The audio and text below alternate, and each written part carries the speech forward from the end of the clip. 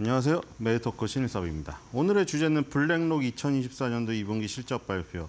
feat. 돈이 돈을 부른다. 어저께 트럼프가 어저께가 아니죠. 그저께 주말에 트럼프가 사건 사고가 일어나는 바람에 일주일에 그 일정을 못 봤네요. 그렇죠? 이번에 굵직굵직한 건 엄청 많은데 지금. 일단 엠파이어 스테이트 제조업 지수 빨간색이니까 보도록 하죠. 뭐 지금 이거 이거 관심 없던데 다 트럼프에만 관심 있던데. 자 어쨌든 엠파이어 스테이트는 뉴욕 연방 준비 은행에서 발표가 됩니다. 엠파이어 스테이트 빌딩이 뉴욕에 있잖아요.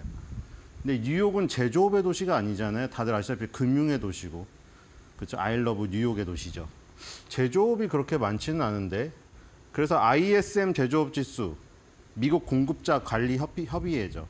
그게 이제 미국 전역의 제조업에 종사하는 사람들한테 물어봐가지고 설문조사에서 경기 좋을 것 같아 안 좋을 것 같아 하는 거잖아요. ISM이 있었고 스탠다드 앤 푸어스에서 나오는 게 있었는데 ISM이 좀 더 중시된다고 했었죠.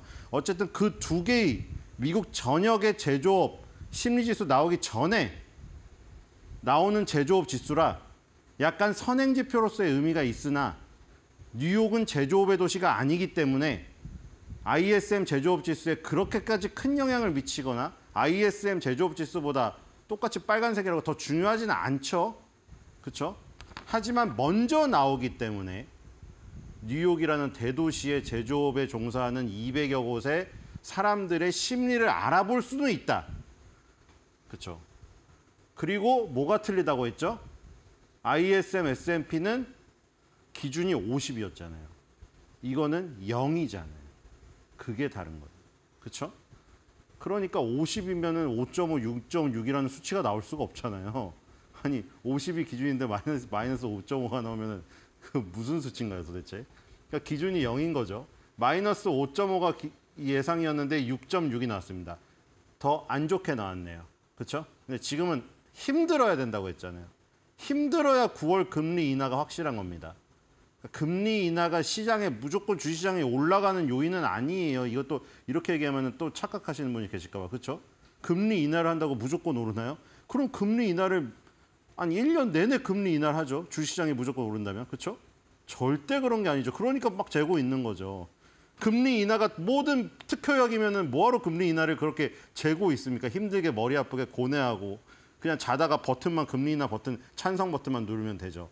그럼 주시장은 무조건 오르면 그렇죠. 그럼 뭐하러 지금 경제학자들이 그걸 고민하고 FRB에서 고민을 하겠어요. 금리 인하라는 게 어느 시점에 쓰느냐에 따라서 주시장의 영향이 다 완전 다르기 때문이겠죠. 그렇죠? 그러니까 지금은 어쨌든 금리 인하를 바라보는 사람들 입장에서는 힘들어야 된다. 힘들어 보여야지 금리 인하를 하지 안 힘들어 보이고 신나고 막 경제가 너무 뜨거워 버리면 금리 인상을 고려하겠죠. 그렇기 때문에 엠파이어 스테이트 제조업 지수 예상치 하회했습니다. 자 이번 주에 정말 굵직굵직한 실적들이 엄청나게 많습니다. 자 봅시다. 대단한 기업들이 다 나와요 지금. 자 일단 블랙록하고 골드만삭스라는 우리나라의 금융회사들이 전부 다 꿈꾸는 저렇게 되고 싶다. 골드만삭스 같은 종합 투자회사가 되고 싶다. 블랙록 같은 자산운용회사가 되고 싶다. 다들 꿈꾸는 회사들이죠. 자, 그 다음에 뱅크 오브 아메리카가 바로 화요일 날 또 나옵니다. 자, 뱅크 오브 아메리카는 굳이 나누자면 뱅크 오브 아메리카는 약간 은행, 은행이고, 물론 여기는 다 종합으로 이제 토탈로 갔기 때문에 그 경계선이 불분명하지만 뱅크 오브 아메리카는 뱅고아뱅화에서 은행에 가까운 거고 뱅크니까 골드만삭스는 사실 우리나라 증권사에서 시작한 거랑 가까운 거고 블랙록은 자산운용사죠. 자, 다 특이점이 있, 있습니다. 거기다가 모건 스탠리가 있어요, 또. 그렇죠? 그 다음에 또 굵직굵직한 게 많죠. 지금 금융사가 앞부분에서 굉장히 크게 나오고 뒷부분으로 가면은 자, 이런 거. ASML, TSMC. 자, 이거 지금 엔비디아의 위에 있는 거죠, 사실은. 뭐 엔비디아 위에 있다기 그런데 엔비디아의 설계도도 물론 중요하지만 설계도를 만들어줄 수 있는 공장이 없으면 설계도를 쓸 수가 없잖아요. 설계도를 만들어줄 수 있는 유일한 공장 TSMC. 그렇죠? 물론 삼성전자 우리나라 기업이긴 하지만 솔직히 말해서 TSMC 먼저 빼겠죠. TSMC 그리고 TSMC에서는 ASML에 노광장이 없으면은 엔비디아 설계도 못 그려요. 그렇죠? 그렇기 때문에 너무 중요한 것들이고 우리가 이제 너무 그 인공지능이나 뭐 IT에 관심을 기울여 가지고 이런 전통 산업에 관심이 없어서 그런데 알코아라는 세계 최고의 알루미늄 기업도 바, 발표를 합니다. 그리고 도미노 피자 나오죠. 그다음에 닥터 호튼 이 미국의 주택 경기를 알아볼 수 있는 주택 거래 업체 1위 업체죠. 닥터 호튼하고 그다음에 넷플릭스도 나옵니다. 지금. 그리고 아메리칸 익스프레스 이거는 이것도 지금 신고가인데 이 미국의 소비에 관련된 것이죠. 소비가 강하다면 아메리칸 익스프레스 카드를 엄청나게 긁을 거 아닙니까? 비자 카드랑. 그렇기 때문에 지금 보면은 엄청나게 많아요. 지금 이거 요것만 봤지만 나머지도 지금 굉장히 훌륭한 기업들이 많이 있습니다. 우리가 그냥 이름을 딱 봐서 아는 거 아는 것만 했는데도 요 정도예요. 그렇죠? 근데 조금 더 들여봐야 아는 것도 많이 있어요. 여기 존슨앤 존슨도 있고요. 자, 굉장히 많습니다. 지금 화요일부터 정말 빽빽하게 있어요. 그리고 이, 이게 지금 금융, IT, 소비 이런 쪽으로 다 주택까지 전부 아우르고 있죠. 유틸리티 철강도 있었고 그렇기 때문에 이런 실적들이 중요하다. 일단은 일본 월요일부터 지금 포문을 크게 터트렸다. 자 블랙록을 보겠습니다. 골드만삭스 블랙록 볼까 하다가 블랙록을 봤습니다. 예, 이 양말 황금 양말은 나중에 볼게요. 자 블랙록은 2023년도 2분기 실적입니다. 매출이 8% 늘었네요. 2023년도 2분기 대비해서 8% 늘어서 4.81 빌리언 달러. 우리나라 하면 48억인가요? 네, 48억 달러. 지금 4.82 빌리언 달러가 나왔고 이 순이익이 1.50 빌리언 달러, 전년 동기 대비 9% 증가했습니다. 그리고 주당 순이익 9.99 달러, 거의 10달러 나왔네요. 플러스 10%. 그리고 거기서 일회성 비용을 제거하자 더 높아졌습니다. 10.36까지 나옵니다. 일회성 비용 제거하니까 굉장히 훌륭한 지금 상황이죠. 자, 그리고 AUM이라는 이 금융회사에서 쓰는 중요한 단어들이 나오고요. 그리고 이 지금 금융회사의 이익이 이렇게 올랐다는 것은 그리고 얘 블랙록 같은 경우에는 자산운용사기 때문에 자산운용의 실적이 좋았다는 것이죠. 그리고 블랙록은 세계 최고의 최대의 자산을 갖고 있는 회사입니다. 그러니까 우리가 블랙록을 못 이겨요. 그러니까 엄한데 투자할 필요가 없어요, 사실은. 그냥 블랙록 사면 돼요. 그냥 블랙록 사가지고 그냥 나오는 생기는 돈, 돈을 그냥 블랙록에 투자하고 살면은 평생 편해요. 괜히 종목 분석할 필요가 없습니다. 종목 분석은 블랙록의 펀드 매니저들이 다 해줘요. 우리가 할 필요가 없어요. 그리고 지금 이 그 CEO가 한 말을 볼까요? CEO가 CEO 코멘트가 뒤에 있습니다. 상위 라인은 시장이 평균 AUM, AUM 그리고 유기적인 기본 수수료 증가, 높은 성과 수수료 및 기술 서비스 수익에 미치는 긍정적인 영향으로 이익을 얻었다. 그리고 이제 뒤에 중요한 게 나오죠. 블랙록은 개인 시장, 알라딘 및 ETF 및 활성화된 전체 포트폴리오 솔루션을 포함하여 몇 년 동안 가장 광범위한 계획 세트를 실행하고 있다. 동시에 글로벌 인프라 파트너스와 프레킨 인수 계획으로 고객과 주주에게 의미 있는 새로운 시장을 열어주고 있다. CEO 로렌스 핑크입니다. 핑크가 P-I-N-K가 아니고 F예요. 핑크예요. 핑크가 아닙니다. 핑크색 옷을 좋아하긴 하더라고요. 어쨌든 알라딘하고 프레킨이라는 게 나오죠. 왜 갑자기 여기서 알라딘이 나오나? 알라딘. 자, 이분입니다. 로렌스 핑크. 이 자산을, 이 큰 자산을 자, 워렌 버핏도 마찬가지인데 워렌 버핏이 그걸 그 어마, 어마어마한 자산을 혼자 그거를 컨트롤이 가능한가요? 지금 컨트롤이 안 돼요. 돈이 너무 많아가지고. 로렌스 핑크도 마찬가지로 혼자 컨트롤이 안 됩니다. 돈이. 그 많은 돈을 컨트롤 어떻게 해요? 손 떨, 손도, 손이 떨릴 거 아닙니까? 워렌 버핏하고 로렌스 핑크도 손이 떨려요. 그 정도 돈이면. 그리고 그 정도 돈이면은 워렌 버핏도 말했잖아요. 투자할, 하, 함부로 투자할 데가 없다. 왜냐면 정말 큰 맥이 아니면은 그 큰 돈을 넣으면 자기가 잠겨버리기 때문에 투자할 데가 없어서 쌓인 돈이 어마어마해요. 둘 다. 그럼 이거 다 누가 해주느냐? 인공지능이 해주는 거예요. 지금 엔비디아가 지금 처음에 인공지능의 일, 일장을 넘기고 있죠. 일장. 왜냐하면 이게 인공지능의 하드웨어를 만들잖아요. 그 다음 싸움은 어디로 갈 거예요? 데이터. 지금 인공지능이 학습을 열심히 하고 있잖아요. 지금 전 세계에 있는 모든 자료들을 다 학습해서 뭐 옛날에 고대 유물에 써져 있는 무슨 암호가 옛날에 뭐 모르는 기호까지 해, 해독을 했다며요, 지금. 다빈치 코드 같은 거 그거. 다빈치 코드는 물론 영화지만 그런 거를 해석해 버렸어요. 근데 만약에 그런 거 해석하고 이제 다 해버렸어요. 세상에 모든 비밀이 없어요. 어, 만약에 케네디 암살범까지 알아냈다고 쳐봐요. 인, 공지능이 그럼 더 이상 학습할 게 없잖아요. 그럼 데이터 싸움이거든요. 이 블랙록에 그동안에 자산 운용하면서 쌓인 어마어마한 금융 데이터들 이게 돈이 되는 겁니다. 그리고 지금 인공지능이 이걸 운용하고 있어요. 우리가 못 이깁니다, 인공지능을. 그렇기 때문에 블랙록에 그냥 투자하면 돼요, 편하게. 그래서 지금 알라딘이 어떤 건가 봅시다. 이 레리 핑크 CEO가 만든 겁니다. 알라딘을.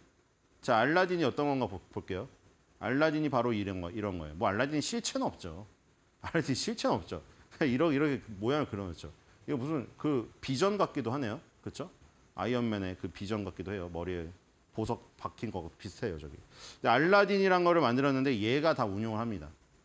얘가 펀드 매니저 한 명이 이거 어떻게 예를 들어서 지금 알라딘이 미국 연방준비은행 주요 은행 및 투자 펀드 17,000명의 트레이더 그다음에 ETF의 절반 채권 시장의 17% 글로벌 주식 시장의 10%를 알라딘이 다 통제하고 있어요. 이 방대한 데이터 학습량 이거 우리 인간이 따라갈 수가 없습니다. 내노라 하는 펀드 매니저나 트레이더도 안 돼요. 왜냐면 17,000명의 트레이더들을 통제하고 있는데 그 17,000명 중에 1, 17,000분의 1에 해당되는 하나의 트레이더 분이 이거를 24시간 잠 안 자고 얘를 또 쫓아가려고 노력을 한다고 해도 어, 맨사 회원이라도 안 돼요, 이거는. 이길 수가 없고요. 알라딘이 매일 하는 거래 거래 저 공부가 얼마냐면 25만 거래랑 수십억 개 예측을 수행하고 있습니다. 이길 수가 없습니다. 그리고 최근에 또 뭘 샀냐? 뒤로 가보겠습니다. 자, 알라딘의 그 뭐 그림 하나 또 나오고요. 예, 얘가 이게 알라딘의 어떤 모습이에요. 이걸 이걸 다 투자하고 있어요. 특히나 요즘에 ESG 경영이라고 이 화석 에너지 말 화석 에너지에 투자했던 거를 25%를 다 빼버렸어요. 이 블랙록 전체 자산의 25% 4분의 1을 그 화석연료에 투자했던 거를 다 싹 다 빼버렸다고요 지금. 다 신재생 에너지에 투자하고 있어요. 그러니까 ESG 경영에 도덕적으로 투자하고 싶어도 블- 블랙록에 투자하시면 돼요. 그리고 다음으로 넘어가겠습니다. 그리고 4조 원을 또 투- 투입해서 뭘 샀느냐? 프리킨이라는 회사를 샀습니다. 여기 프리킨 홈페이지에 나와 있죠. BlackRock to acquire Preqin. acquire가 습득하다. 프리킨을 습득했습니다. 블랙록이. 이거 왜 샀냐? 프리킨은 뭐 하는 회사냐? 프리킨 아래 또 정보가 있어요. 정보 데이터 회사거든요. 얘네가 갖고 있는 정보가 19만 개 펀드, 그 다음에 그 펀드를 운영하는 6만 명의 펀드 매니저의 개인 자료, 그다음에 3만 명의 사모펀드 시장 투자자에 대한 정보 이걸 싹 다 갖고 있습니다. 이걸 통째로 사버렸어요. 이게 데이터 싸움인 걸 이제 아시겠죠? 엔비디아 다음 판은 데이터 싸움이에요. 근데 금융 데이터의 왕은 지금 블랙록이에요. 세계의 금융 데이터란 데이터는 싹 다 빨아들이고 있습니다. 지금. 나중에 이 정보가 큰 돈이 돼버리는 거예요. 이게. 이거 하나 살려고 얼마를 주고 구매를 해야 될까요? 나중에는. 펀드 매니저나 투자자에 대한 정보를. 펀드 투- 팔고 싶은데 데이터베이스가 없어요. 우리도 마찬가지잖아요. 데- 뭐 물건을 팔고 싶은데 데이터베이스 있는 거 사고 싶잖아요. 그러니까 뭐 불법적으로 일하시는 분들 막 불법 도박 사이트에서 맨날 개인정보 유출해서 긁어다가 그거 스팸 뿌리는 거죠. 그건 불법이지만 이런 정보가 나중에 그 엄청난 돈을 주고 사야 되는 정보가 되는 겁니다. 그래서 이렇게 계속해서 정보를 사들이고 있다. 굉장히 커지고 있습니다. 자, 이제 쭉쭉 보겠습니다. 자, 지금 예상치보다는 저희가 나왔어요. 이건 항상 surprise로 나와버리기 때문에 빨간색이면 이제 원래 우리가 부르기는 어닝 쇼크라고 하죠. 근데 이거는 어닝 서프라이즈가 아니라 쇼크를 surprise 나쁘게 놀랐다고 해서 이렇게 표현을 해요, 얘네들은. 어쨌든 빨간색, 초록색을 구별하시면 되죠. 지금 4.81 빌리언 달러 아까 나왔잖아요. 근데 평가는 4.85 빌리언 달러였기 때문에 0.91 정도 살짝, 거의 살짝입니다. 거의 겹치죠. 동그라미랑 겹쳐 있어요. 그리고 지금 이 다음 다음 2024년도 3분기 예상치는 거의 5조 가량으로 잡혀 있는 것 같죠. 자, 매출은 이렇게 되어 있고요. 매출은 거의 부합이라고 보면 되죠. 그다음에 이익에서 많이 났습니다. 이 자산운용사잖아요. 이익률이 어느 정도인지 아시나요? 우리나라 예를 들어서 클래시스나 막 50% 이렇게 넘잖아요. 그 그게 의료기기 회사죠. 이게 금융회사인데 40%가 넘어요. 말도 안 되죠. 지금 어닝 서프라이즈가 지금 4분기 연속 나왔고 지금 9.98달러를 예상했는데 10.36이 나왔습니다. 자, 어닝 서프라이즈 나왔고요. 자, 보겠습니다. 931달러가 평균 average, 평균 목표 주가인데 13.53, 54%만 올리면 도달이 되고요. 지금 얘도 1000달러. 이게 무슨 미국은 다 1000달러입니까? 이제 블랙록 듣고 곧 있으면 1000달러예요. 또 천비디아, 천브로드컴처럼 또 이렇게 해놓고 또 액면 분할을 하려는지 모르겠어요. 미국은 행복한 고민입니다. 자, 다음으로 넘어가겠습니다. 또 오랜만에, 그쵸? strong buy 몇 개 없었잖아요. 엔비디아, 브로드컴, 그리고 몇몇개 없었죠. 몇 개 없었어요 거의. strong buy입니다. 지금 17개의 buy에 one hold. Strong buy 의견 나왔고 자 이제 차트를 보겠습니다. 자 지금 블랙록 자 불기둥 나오고 있죠. 지금 이거 뭐- 보통 뭐 삼각쐐기형이라고 하는데 지금 이 급등이 일어난 뒤에 여기 작년 말이죠. 작년 말에 급등이 일어난 뒤에 이렇게 오르락 내리락 횡보를 하다가 지금 여기 삼각 수렴형을 또 돌파를 시켰거든요. 그러니까 지금 여기 고점으로 다시 도전을 하고 있는 겁니다. 자, 이게 주봉 월봉으로 볼까요? 그러니까 지금 아까 나온 실적이 매출은 뭐 크게 어닝 쇼크라고 할 수는 없고 부합을 했고 이 그 이익은 어닝 서프라이즈가 나왔잖아요. 그래서 그 그거에 걸맞게 나왔습니다. 지금 여기 삼각 수렴을 돌파했던 일봉의 자리가 주봉에서는 여기 이렇게 보여, 보이는데 여기 보시면 여기가 저항이에요. 지금 계속 여기 몇 번 있죠. 여기 2022년 초반부터 있습니다. 하나, 둘, 셋, 넷, 다섯, 여섯, 일곱, 여덟, 아홉. 거의 아홉 번 정도 막힌 이 자리가 있죠. 지금 850달러 이 자리. 이 자리가 지금 관건이에요. 이게 지금 2022년이니까 무려 2년간의 이 지금 고점이거든요. 만약 여기를 돌파한다면 900달러를 갈 수가 있겠죠. 여기에 지금 위에 잘 보면 여기 하락 갭이 있거든요. 하락 갭이 요 정도에 있는데 여기 가면 딱 900달러예요. 일단 그러니까 이 박스권을 돌파하면 900달러인 저 2022년도의 하락 갭 부분에 도달할 수가 있다는 겁니다. 그 이상을 가면 이제 역사적 신고가를 가겠죠. 월봉을 보겠습니다. 가장 편하게 투자하는 방법이죠. 굳이 우리가 막 연구하고 이래봐 이길 수가 없습니다. 알라딘을 이길 수가 없어요. 알라딘은 아까 전에 프리킨도 샀잖아요. 앞으로 계속 살 거예요. 알라딘한테 계속 정보를 집어넣어주기 때문에 머리가 너무 똑똑해져. 우리 절대 못 따라갑니다. 그리고 이제 미국은 50개월 선, 50, 뭐 일봉, 주봉, 월봉이든 50, 200이 중요해서 항상 50, 200이 그려져 있다고 했잖아요. 여기 월봉에도 보시면 50개월 이동평균선 쭉 그려져 있죠. 근데 이게 전반적으로 보시면은 항상 50개월 이동평균선을 타고 가는 이, 이 저기가 보이죠. 여기 보시면은 2020년 이때 정말 이게 이렇게 정확할 수가 있나요? 여기 보시면은 3월 달에 이 밑골이 단 거 있죠. 이게 코로나 때문에 이렇게 된 거잖아요. 순간적으로 다 빠져가지고. 근데 여기 보시면은 몸통의 이 밑부분 있죠. 그러니까 지금 음봉은 몸통의 윗부분이 월의 시가죠. 월의 시작한 가격이고 몸통의 밑부분이 월의 종가잖아요. 그러니까 음봉이고 양봉은 반대죠. 몸통의 밑부분이 월의 시가고 몸통의 윗부분이 월의 종가잖아요. 근데 어쨌든 보시면 월의 종가가 어디서 딱 끝나 있어요, 이게? 특히나 2020년 3월은 너무나 정확하잖아요, 이거. 50개월씩 이게 딱 있잖아요. 그리고 이런 것도 대부분 그렇죠. 이렇게 한 번씩 살짝 살짝 깼던 거 빼고는 바로 다음 달에 회복을 해서 이 올려놓습니다. 그러니까 결국에는 그냥 50개월선 근처에만 오면 평생 그때만 적립식으로 계속 추가 불입만 하면 되는 거예요, 이거. 그러니까 이 아이쉐어스라고 그게 대표적인 블랙록의 펀드고 그게 세계 1위거든요. 뱅가드도 얘네한테는 안 돼요. 뱅가드도 얘네한테 안 되는데 그 아이쉐어스 ETF를 사도 되는데 그냥 블랙록 자신의 본연체를 사도 됩니다. 이렇게. 그렇죠? 그렇기 때문에 50개월 선만 오면은 그냥 평생 매수 기회다. 이렇게 보시면 되고 그럼 지금도 마찬가지죠. 50개월 선에 거의 근접해 있잖아요. 그러니까 50개월 선에 근접했다가 이렇게 한 번씩 슈팅되는 구간이 있거든요. 슈팅되는 구간. 여기서 한 번씩 이익 실현을 해도 됩니다.